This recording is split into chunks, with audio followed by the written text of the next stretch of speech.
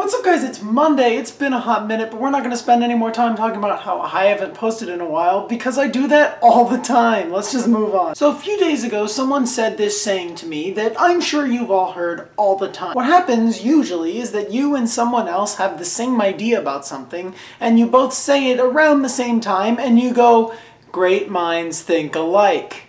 Smart, it's a good saying. Wrong, incorrect, stupid, hold the phone, no, wrong, bad, other synonyms. Because I was in concert band at the time, and in that class I have a lot of time to just think to myself about random stuff, because, you know, sometimes they're not working with your section, so you're just sitting there bored. As I was thinking about great minds think alike, the more I thought that's a stupid saying, how could anyone say that? Because that's wrong. Great minds don't think alike. That's exactly what makes them great minds, is that they think differently from everyone else. Albert Einstein, for example, had great ideas that no one had ever thought of, no one ever dreamed of before, and they turned out to be incredible ideas. But it's because they were different. That's why he's so remarkable, is because he was different. Am I thinking too much about this common saying? I mean, yes, of course I am, but like, why else are you here but to watch me rant about stupid idiotic things that come out of my brain. I mean, essentially the point of the saying is just when you have the same idea, you kind of compliment each other and say, hey,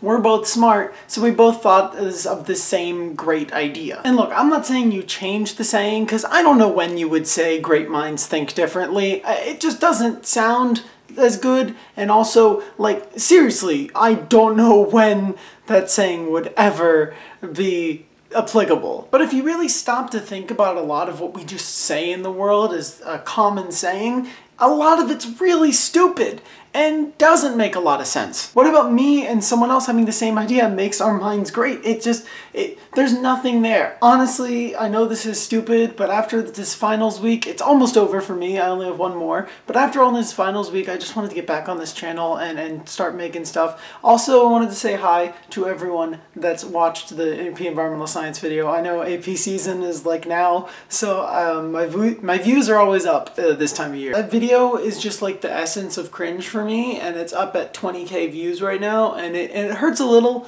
but um, also my craving for attention is, is uh, at an all-time high.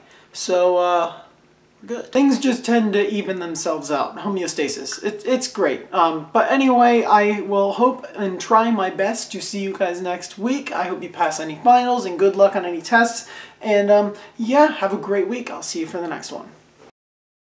God, uh, I got a lot to catch you up on. It's been a pretty crazy semester.